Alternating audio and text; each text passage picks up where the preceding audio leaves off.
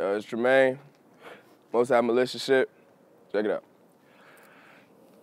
I'm passing the pacifist and passing past the pastor with a Mac out the window. We rolled down just to laugh at him if rap was my passion and why am I paddling all these black bastard kids straight back to Africa. I'm glad that they never questioned my character.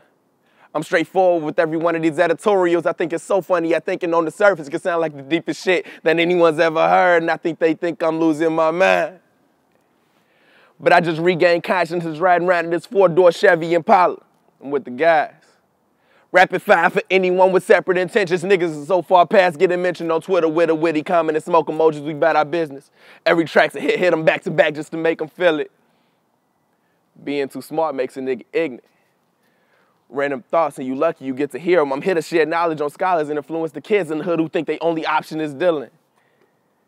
But let's not front like it's all for the children. Shit. I get blunt with this blunt on my lips, and it's not even lit. It's just there for the image. But the cops is killing kids and shit is getting hectic, thinking I should change my last name to an X and hit the exit. Bad culture 2016, man.